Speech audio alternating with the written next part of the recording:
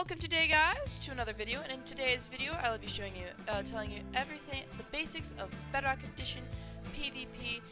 Um, this will be a useful tip for beginners, but if you're advanced already, I'm sure there'll be some stuff useful for you in today's video. Really quick, this is a four section video, there'll be timestamps in the description if you're wanting to jump around to, into the around the video. But other than that, let's get started because we have a lot to cover. So first uh, is the basics um, for combos, basically. So for the basics of combos, to like without getting like into the super heavy details yet, is strafing. Literally just strafe back and forth, and so it makes it mess up their aim while you're aiming at them, so that way you can get consecutive hits. Uh, but I will get onto uh, like sprint resetting, uh, but like basically, uh, it's like where you reset your sprint with uh, W that's called W tapping. So like every single hit, you would uh, reset your sprint, so it would look like this. So now they're that would be keep them farther away, so you can get more consecutive hits on them, so you can combo them. So that is the absolute basics to combos. Now for section two. Uh, so for the first tip uh, is hotkeying. If you don't know what that is, uh, it's basically where uh, you have selected uh, hotbar slots in your hotbar. So this could be usually done on like keyboard and mouse or something that has like hotkeys. Preferably it's always keyboard and mouse because you have a lot of buttons. But basically I am tapping buttons on my keyboard to uh, hotkey to those slots and so that way if I'm fighting I can shift, I can um, hotkey to a projectile or something to get them up in the air, which I will get to in a second. The next tip we will get we will be going over covering is uh, sprint resetting. So if you don't know what that is, it's basically uh, why it's called that is because your first hit will always do the most amount of knockback. It will always do the most. So then to do that, you will um, want to let go of W. That's why it's called W tapping. Is you let go of your W key for sprinting. So then you stop like this. So then you can hit, and then you press down as almost it didn't, you never even notice. So it looks like this. As you can see, I launched that guy off into the void off of the sumo platform. So uh, uh, it's extremely overpowered. Um, but and then there's a few other uh, methods of doing that. Another method is S tapping. Uh, it is still effective, but not as effective, but it can be used in certain occasions. Again, it's like stopping your sprint. Uh, I don't use it as much. I prefer W tapping much more. It's a lot more effective and promising. It it works like guaranteed. I mean, all those those are like basically the main two uh, sprint resetting methods. Uh, the the yeah those are the two but those are the main two uh, sprinting uh, resetting methods. Next uh, next on to section 3 the next tip I will be showing you is aim.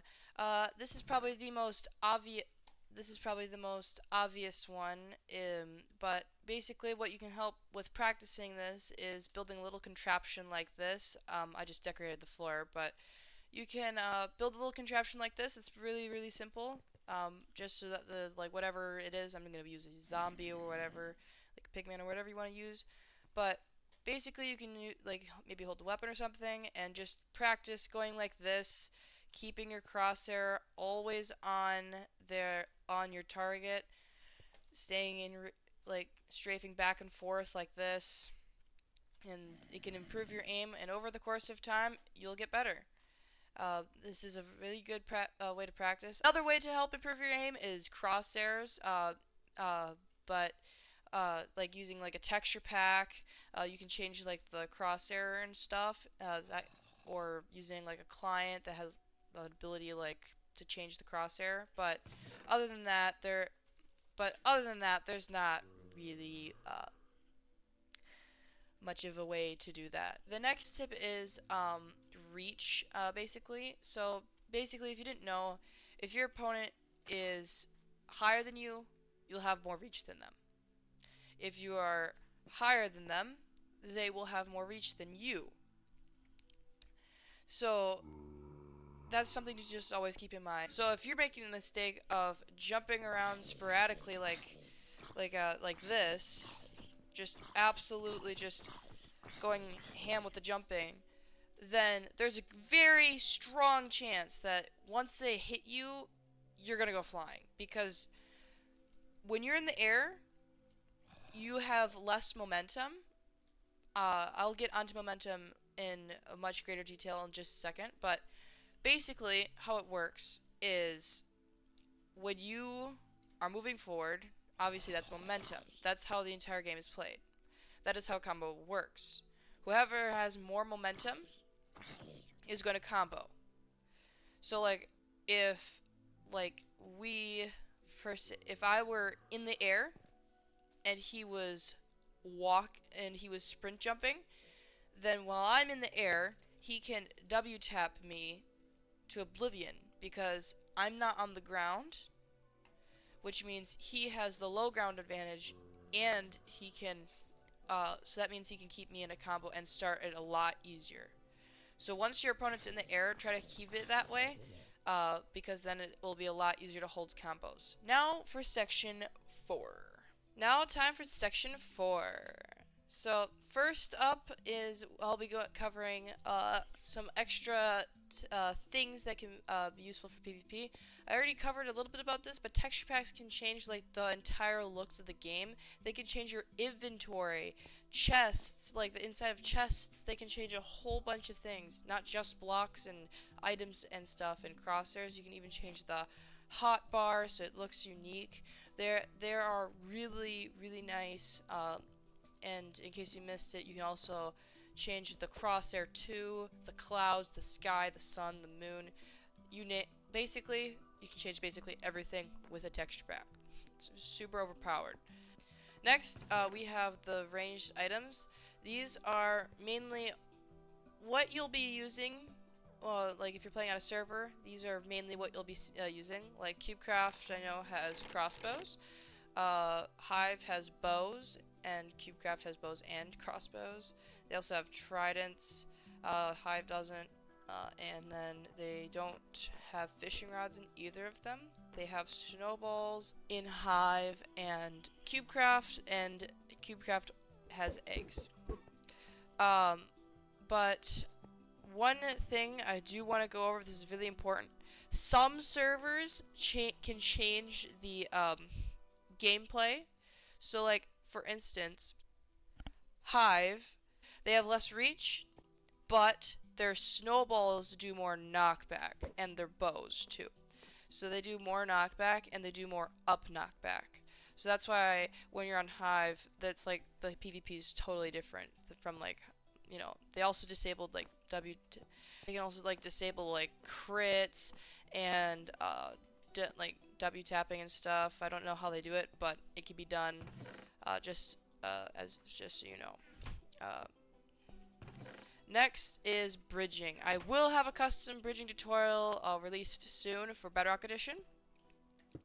But if I just quick bridge up here, I just want to give over the quick uh, thing is an edge place. That's why you see people just like, uh, like as soon as if I bridge like a little platform here, they can go like this, uh, or like, um, or even this really creepy, but this can be done. I know, it's kind of weird.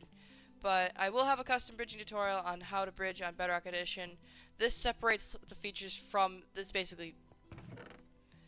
Um, but this basically separates Java from Bedrock is the bridging mechanics. Uh, next is Netherite PvP. I won't go into this in too much. This is mainly for only like SMPs, but the PvP is different uh, if you're ever playing. It's just a little bit different because you have take less knockback and you take less damage and stuff. Just so you know, if you watch like Java YouTubers like uh, Dream or something, you cannot disable shields with axes. Okay, it is not possible to do so. Wood through netherite, you cannot. Just so you know, and you have to shift to activate your shield. Next is Crystal PvP. This is mainly done on Java, but it is it can be done on Bedrock. This is an extremely like advanced form of PvP. It's extremely overpowered, but it's pretty hard to learn and involves a lot of hotkeying. So I suggest uh, you wait until you're better at PvP, like the beginnings of like sword and stuff, before you move into crystal. Uh, last, these are like probably like items that you'll be getting in like servers or games you have, like ender pearls. These are like extra things that you'll be like having potions, splash potions, maybe uh, maybe ladders or anything, clutching items and stuff like that. You'll be rarely getting anvils, but you sometimes can, so you can probably like uh, not clutch with them, but like maybe like secretly try to do some stuff with them. But uh, those are basically all the things that you can use for PvP. Uh, but unfortunately, ladies and gents, uh, that is all I've got time for today. Uh, really quick, this isn't everything about this is just the extreme basics and the import like the super important basic stuff. Uh, but if you want a, a, second a second part let me know and I'll give you one. I also have a bridging tutorial and a Java tutorial for PvP coming really soon. Uh, but otherwise I really hope you enjoyed and I'll catch you in the next video. And really quick please consider subscribing